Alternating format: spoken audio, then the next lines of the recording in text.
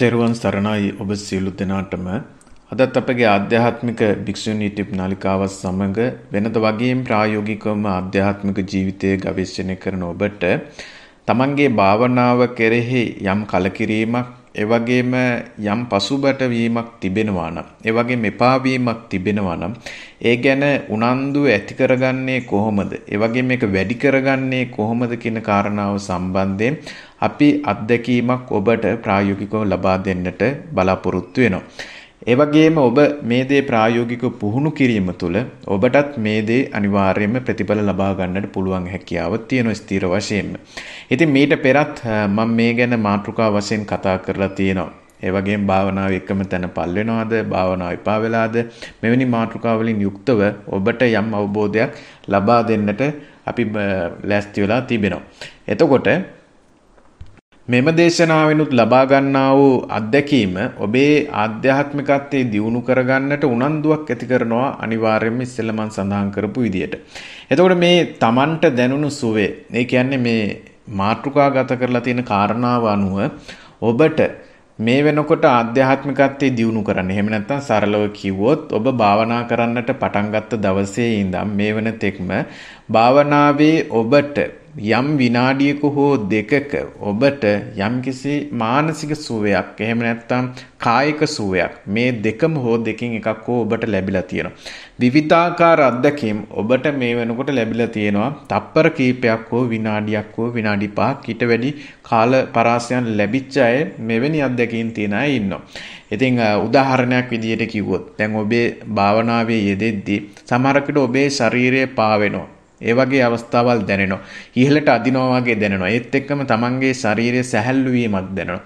සමහරක්ලාට හිත එකඟ වෙලා මානසික සැහැල්ලුවක් දැනෙනවා. මෙන්න මේ වගේ සිතේ යම් සමාධි ස්වභාවයන්, ඒ වගේම ධානා ස්වභාවයන් ඔබට දැනිලා ඇති.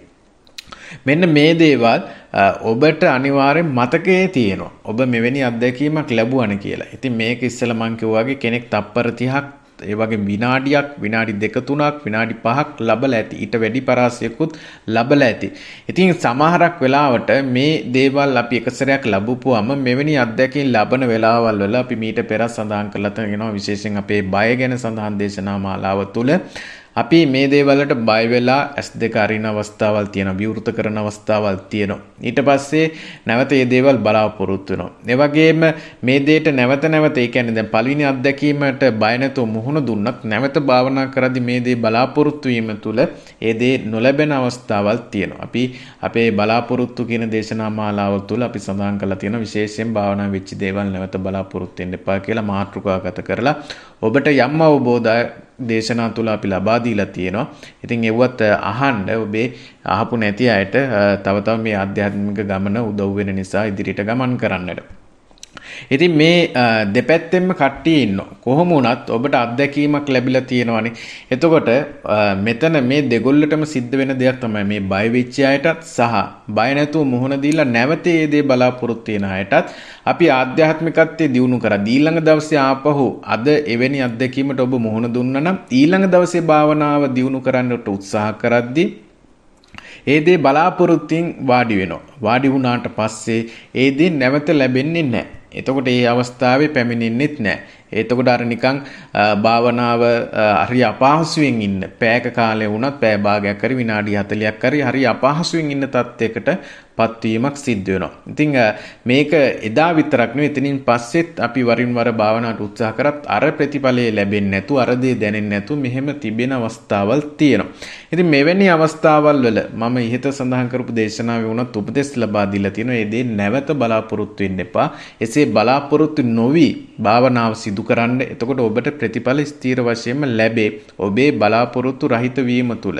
ඒ වගේම භාවනාව උනන්දුවෙන් කරන්න දිනපතා නිසිපතා කියන කාරණාවත් අපි අවවාද වශයෙන් ලබා දීලා තියෙනවා. එතකොට මේ දේශනාව තුළ ඔබට සඳහන් කරන්නට ඕනේ. මෙන්න මෙවැනි තත්යකටපත් වුණාම කොච්චර භාවනා කරත් ඒ ප්‍රතිඵලෙන් නැවත නොලැබීම තුළ භාවනා කෙරෙහි සමහරක් කෙනෙක්ට මේ වෙනකොට කලකිරීමක් ඇති වෙන්න පුළුවන්. උනන්දුවක් නැති ස්වභාවයක් ඇති වෙන්න පුළුවන්. කරන්නම් වාලේ භාවනාව කරන්න පුළුවන්. ඔහේ කරන තාලයක් තියෙන්න ඉඩකඩ තියෙනවා. මෙවැනි ස්වභාවයන් ඔබ තුළ ඇති වෙලා ඇති. මේකට වයස් ભેදයක් නැහැ. ඕනෑම කෙනෙක්ට මේක ඇති වෙන දෙයක්. එතකොට එවැනි ස්වභාවයක නම් ඔබ සිටින්නේ ඔබගේ භාවනාව මේ වෙනකොට ඔබට පිරිහීමකට ලක් වෙලා සමහරක් විට ඔබ භාවනා නොකරන කෙනෙක් බවට පත් වෙලා ඇති නැවත අර ඔබේ පෙර ජීවිතයේ වගේම. ඉතින් මෙවැනි ස්වභාවයකදී මේක තමයි අපි මෙතන තේරුම් ගන්නට ඕන දෙයක්. මේක තමයි හිතේ ස්වභාවය. මම නිරන්තරයෙන් භාවිතා කරන වචනය. මේක හිතේ ස්වභාවයක්.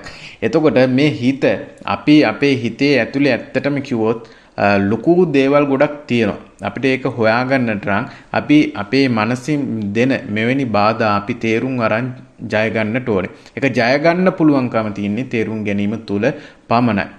එතකොට ඔබ සිද්ධ කරන්නට ඕන දේ තමයි මෙම දේශනාවේ මම සඳහන් කරන දේ මේ විදිහට ප්‍රායෝගිකව යෙදෙන්න.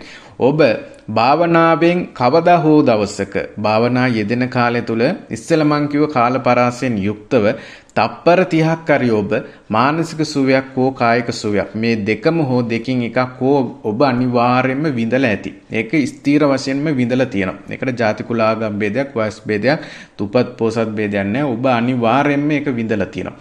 එහෙම විඳලා තියෙන ඔබ මෙන්න මේ කාරණාව ඔබ නිරන්තරයෙන් මතක් කරන්න. මේ කාරණාව ඔබට භාවනාව උනන්දුවක් නැති වෙන වෙලාවට භාවනාව කරන්නම් වාලේ කරන අවස්ථාවල් ඒ වගේම භාවනාව කෙරෙහි කලකිරීමක් ඇති වෙලා තියෙනවා ප්‍රතිඵලයක් නැහැ කියලා. භාවනාව නැවත නැවත කරන්නට උනන්දුතාවයක් සහ කිරීමට සිතක්වත් ඇති වෙන්නේ නැති ස්වභාවයක් ඔබ තුල මේ වෙනකොට ඇති වෙලා තියෙනවා නම් ඔබ මීට පෙර මේ ලැබපු සුවය ගැන නැවත නැවත නැවත නැවත මෙනෙහි කිරීම කියන කාරණාව सिद्ध කරා. ඒ සුවේ ඒ කියන්නේ මම මෙහෙම අහවල් දවසේ දැන් උදාහරණයක් විදිහට අපි හිතමු ජනවාරි 1 වෙනිදා කියලා. ජනවාරි 1 වෙනිදා මං අහවල් වෙලාවේ පාන්දර හරි හවස් යාමේ හරි භාවනා කරද්දි මෙන්න මෙහෙම සුවයක් මා විසින් වින්දා මෙවැනි දෙයක් මම අත්වින්දා කියන එක නිරන්තරයෙන් මෙනෙහි කරා. මේක මෙනෙහි කරන්න කරන්න කරන්න ඔබට භාවනාව කෙරෙහි උනන්දුව ආසාව ඇතිවීමක් සිද්ධ වෙනවා. අනිවාර්යයෙන්ම තමන්ගේ භාවනාව කෙරෙහි තියෙන උනන්දු ආසාව වැඩිවීමක් සිද්ධ වෙනවා. මෙන්න මේක තමයි ඔබ කරන්නට ඕනේ දේ. මේක තුල ඔබේ ආධ්‍යාත්මිකත්වයේ දියුණු කරගන්නට තමන්ගේ සිත තමන් විසින්ම උනන්දුවක් ඇති කරගන්න. ඒ කියන්නේ වීරිය කියන එක ඇති කරගන්නවා. එතකොට මෙන්න මේක තුල ඔබට භාවනාව කරද්දි නිදිමත එනවනම්, එව්ව නැති වෙනවා. භාවනාව කෙරෙහි කම්මැලිකම තියෙනවනම් ඒක නැති වෙනවා. එතකොට මේ කියන දේවල් යටපත් වෙනවා. මේ යටපත් වීම තුළ ඔබට ආධ්‍යාත්මිකත්වයේ දියුණු කරගන්නට පුළුවන් හැකියාව තියෙනවා. මෙන්න මේ දේ කරද්දී ඔබට අපි අපේ දේශනා මූලික කාලේ ඉඳන් මේ වෙන තෙක්ම සඳහන් කරලා තියෙන දෙයක් ඔබට මතක් කරන්නට අවශ්‍යයි අවවාදයක් වශයෙන් මොකද්ද ඔබ උනන්දුව ඇති කරගන්න. ඒ වගේම මේක නැවත නැවත මෙනෙහි කරන්න. ඒක ඕනෑම වෙලාවක භාවනාවෙන් තොර අවස්ථාවක මෙනෙහි කිරීම කියන එක සිද්ධ කරන්න. හැබැයි නැවත ඒ අත්දැකීමම ලැබෙන්න ඕනේ කියලා බලාපොරොත්තු වෙන්න එපා කොයිම වෙලාවකවත්. ඒකට ආස කරන්නත් එපා. හැබැයි ඒක මෙනෙහි කරන්න. ඒකට ආසාවකුත් බලාපොරොත්තුකුත් නැතුව මම මෙහෙම එහෙම දෙයක් වින්දනය කියන එක විතරක් මෙනෙහි කිරීම කරන්න. ඒක තුල ඔබේ හිත ප්‍රබෝධයේ ප්‍රබෝධයකට පත්වීම කියන කාරණාව අනිවාර්යෙන් සිද්ධ වෙනවා. වගේම ඒ තුල ඔබට තාම කෙලෙස් නැති කරලා නැති හින්දා යම් ආසාවක් ඇති ඒක ගැටලුවක් නෙවෙයි. නමුත් නැවත නැවත බලාපොරොත්තු වෙනවා කියන කාරණාව සිද්ධ කරගන්නට එපා. එතකොට අපිට ඒ දේ ලැබෙන්නේ නැතිවට යනවා. ඒක නිසා මේක තුලින් අපි කරගන්නේ අපේ චිත්තයට නැත්නම් අපේ මනසට අපේ සිතට ජව සම්පන්න ගතියක් ඇති කර ගැනීම විතරයි. භාවනා කෙරෙහි උනන්දුව ජව සම්පන්න ගතිය. අපි කියන්නේ අර අපි ගැම්මක් ඇති කරගන්නවා කියලා සරලව කිව්වොත් අන්නේ ගැම්ම තමයි අපේ නැති වෙලා තින්නේ. ගැම්ම හිතේ ස්වභාවය. අපි භාවනා කරද්දි කාලයක් මුල් කාලේ භාවනා කරද්දි තිබ්බ ගැම්ම ජව සම්පන්න ස්වභාවයේ ගතිය ටික කාලයක් අද්දි නැති වෙනවා. ඒක මේ හිතේ ස්වභාවය. මේක තේරුම් නොගන්න දන්නා මිනිස්සු කාලයක් ඇද්දි භාවනාව අත්හැරලා දාලා ආපහු පරණ පුරුදු ජීවිතයට වැටෙන ස්වභාවයක් තියෙනවා. මේක අපි අත්දැකීම් වශයෙන් උද්දන්න අපි ඕන තරම් මෙවැනි අයව දැකලා තියෙනවා. ඔය ඒකයි අපි මීට පෙර සඳහන් කරලා තියෙන්නේ. ඔබ පම්පෝරි ගහලා භාවනාව පටන් ගත්තට මුල් කාලේ තියෙන ජව සම්පන්න ස්වභාවය කාලයක් ඇද්දි නැති වෙන්න පුළුවන්. අනික හිත විසින්ම එපා වෙන. ඒ කියන්නේ හිත ගැන ගවේෂණය කරන්න කරන්න එපා වෙන. මොකද හිතේ මූලික කාලේ යම් ඔබට අර ඒ කියන්නේ ඔබ ලෞකික ජීවිතයට සාපේක්ෂව ලෞකික ජීවිතයේ තිබ්බ දේවල්ට සාපේක්ෂව මුල් කාලේ මේක මුලින්ම හොයන්න ගන්න කෙනෙක්ට යම්කිසි සුවයක් සනීපයක් දැනෙනවා. එතිනින් පස්සේ ඒකම කර කර ඉද්දි මේක ටිකක් දුර යද්දි එවැනි සුවේ සුවේ එපා වෙන ගතියක් එන. ඒ කියන්නේ ඒක ඒ සුවයක් දැනෙන්නේ නැතුව නිකන් කම්මැලි ස්වභාවය සරලව කිව්වොත් ඔබට තේරෙන්නේ මෙලව රහක් නැති ස්වභාවයක් වගේ දැනෙන ගතියක් තියෙනවා. ඒක තමයි හිතේ ස්වභාවය. එතනින් එහා තමයි ඇත්තම හිතේ ස්වභාවයන් තියෙන්නේ මෙලව රහක් නැති කාලෙත් අපි හොඳට සිහිය පවත්වාගෙන අපි සිහිය පැවැත්වීම දේශනා මාලායට ඒ වගේ උපේක්ෂකව ඉවසගෙන මධ්‍යස්තව ඉන්න පුළුවන් නම් මේ කොටසේ මම මීට පෙරත් අපේ දේශනාවක සඳහන් කරා මෑත භාගයේදී අන්න එතනින් එහා අපිට මේ දේවල් සුවේ කියන ඒ කියන්නේ හිතේ එතනින් එහා තියෙන දේවල් අපිට තේරුම් ගන්නට පුළුවන් හැකියාවක් තියෙනවා සමතමය වචනුත් විදර්ශනාමය වචනුත්. ඉතින් අන්න ඒක ඔබ තේරුම් ගන්නට ඕනේ. ඒක නිසා අපි මේ කොටසේදී අපි කරන්නට ඕනේ අර අපේ හිතේ ආසාව වැඩි වෙන්නට භාවනාව කෙරෙහි තියෙන ආසාව සමතමේ පැත්තට වේවා විදර්ශනාමේ පැත්තට වේවා ආසාව උනන්දු වැඩි වෙන්නට තමන් ලැබපු අත්දැකීමක් තියෙනවා නම් ඒක ගැන නිරන්තරයෙන් මෙනෙහි කිරීම කරන්න. මේ තුල අපිට වීරය කියන එක වැඩි වෙනවා මේව බුදුරජාණන් වහන්සේ පවා ත්‍රිපිටකය තුල දේශනා කරලා තියෙන දේවල් ත්‍රිපිටක සූත්‍රවල ඇතුළත් වෙන කාරණා.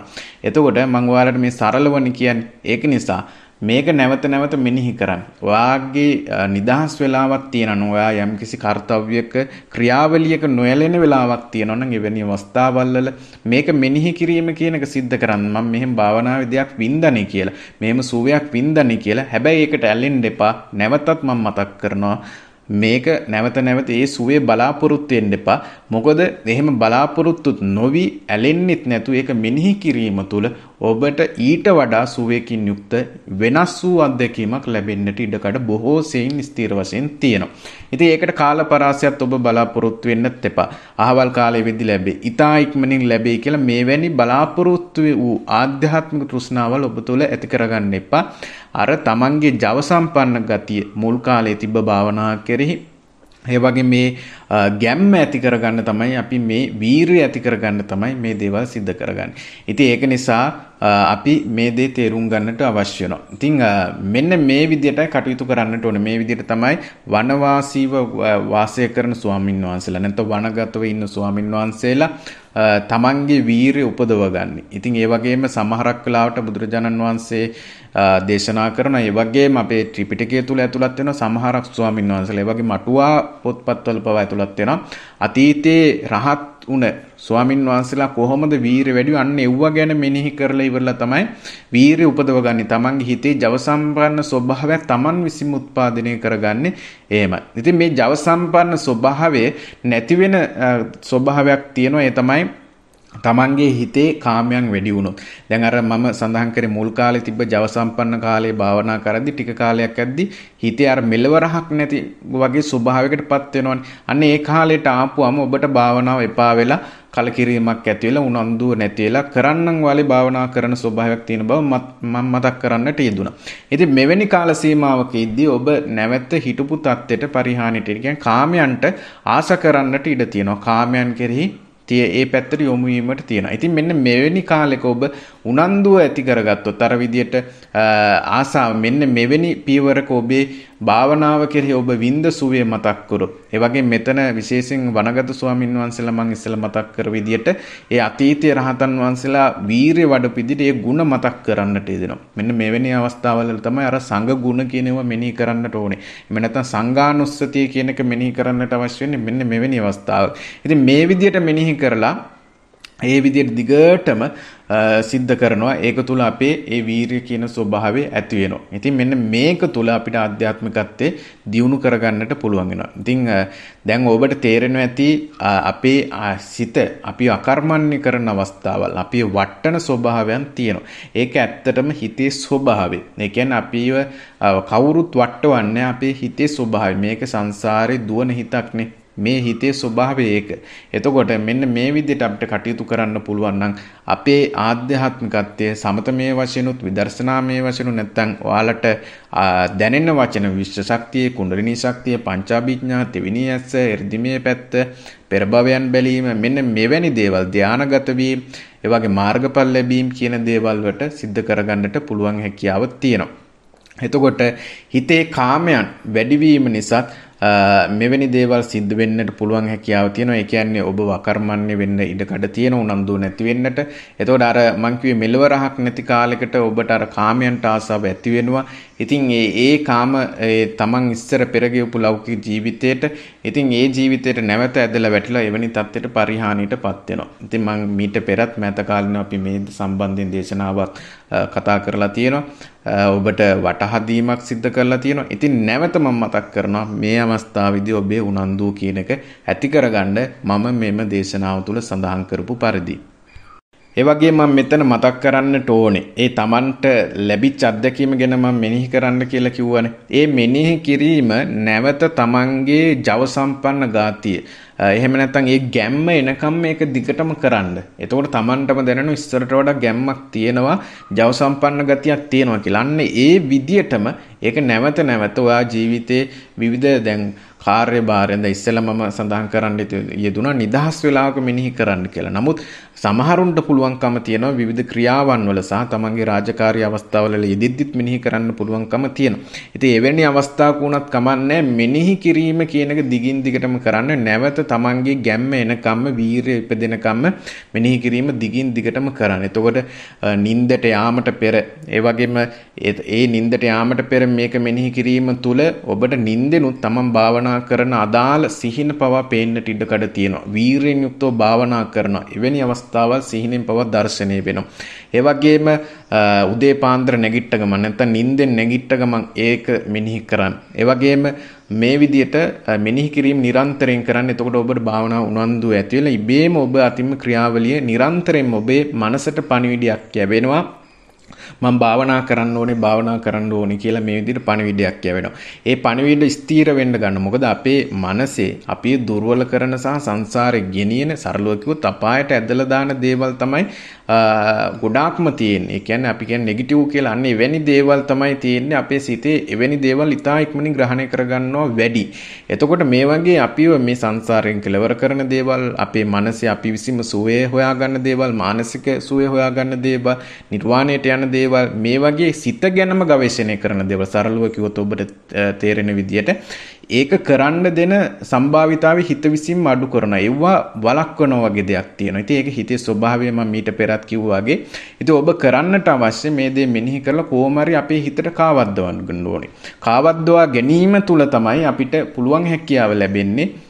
අපිට මේ ගමන ඉදිරියට යන්න. එහෙම නැතුව යන්න බෑ. මොකද අර මං ඉස්සෙල්ලා සඳහන් කරපු අර නිකන් අපි වට්ටවන වගේ දේවල් ඉතා ඉක්මනින් මනස ග්‍රහණය කරගන්න. නමුත් මේ විදිහට හොඳ පැත්තට යන දේවල් ග්‍රහණය කරගන්න අඩුයි යව්වා හොඳටම කාවද්දවන්න ඕනේ. ඉතින් ඒක නිසායි මේක වයස් භේදයක් නැහැ. අනිවාර්යෙන් මේ විදිහට මෙනෙහි කිරීම කරන්න. ඒ වගේම භාවනාවේ අවසානයේ ඒ වගේම භාවනාවේ ආරම්භ කිරීමට පෙර මෙවැනි දේවල් බලාපොරොත්තු රහිතව ආසාවයක් රහිතව ඇලීමක් රහිතව මෙනෙහි කරන්න තමන්ට ලැබිච්ච අත්දැකීම් ගැන එතකොට අපිට උනන්දුව ආසාව කියන එක භාවනාව කිරිය ආසාව කියන එක වීරය කියන එක ජව සම්පන්න ගතිය ගැම්ම කියන එක ඇති වෙලා භාවනා කරන්නට පුළුවන්කම තියෙනවා. ඉතින් මෙන්න මේ වටහා ගැනීම ඔබේ ආධ්‍යාත්මිකත්වයේ දියුණු කර ගැනීම ඉතාමත් වැදගත් වෙනවා. ඉතින් ඒ වැදගත් වීම ඔබේ මනසේ නැවත නැවත ඔබ වින්ද නැති දේවල් අත්දැකීම් නොලබපු දේවල් ලබා ගැනීමට ගොඩාක්ම හේතු වෙන බව මම මෙතන සඳහන් කරන්නට කැමතියි. ඒ වගේම මෙතන මතක් කරන්නට ඕනේ ඔබට මේ ජව සම්පන්න ගති වීරිය ගතිය ඇති කරගත්තොත් ඔබේ භාවනාව කරද්දී ඔබට එන නිදිමත කම්මැලිකම මේ දේවල් ඔක්කොම යටපත් වෙන ඒ වගේම සීහ පැවැත්වීම දේශනාමාලානු කටයුතු කර නිර්වාණ ගාමී ප්‍රතිපදාවේ ඒ සිතේ ස්තර හතරට පත්වීමට ටික ටික පුළුවන්කම ලැබෙනවා. ඉතින් අන්න ඒක මතක තියාගන්න. මොකද වීරය වැඩි වුණොත් අපි තුර කම්මැලිකම වුණා. ඒ ඔක්කොම නැතිලා නිදිමත ඒ හැමදේම නැති කරගන්නට පුළුවන් හැකියාව තියෙනවා. ඉතින් ඒ වීරයත් එක්ක කටයුතු කරද්දී. ඉතින් මේ විදිහට ඔබ කටයුතු කරන්න මේ තුල ඔබේ ආධ්‍යාත්මිකත්වයේ තව තව වැඩි වෙනවා, දියුණු වෙනවා. හොඳයි එහෙනම් අදට මම මේ සඳහන් කරන්නට ගියපු කාරණා ඔබට අවබෝධයක් ලබා දුන්නා කියලා මම විශ්වාස කරනවා. අදට මෙම දේශනාව මම අවසන් කරනවා. ඔබ සියලු දෙනාට බුද්ධ ධම්ම සංඝයන් ත්‍රිවිධ රත්නය අනුභවක අනුභවයේ මේ විදිහට කටයුතු කරන්නට හැකි වේවා කියලා ආශිර්වාද කරන ගමන් දේශනාව අවසන් කරනවා. ඔබ සියලු දෙනාට තෙරුවන් සරණයි.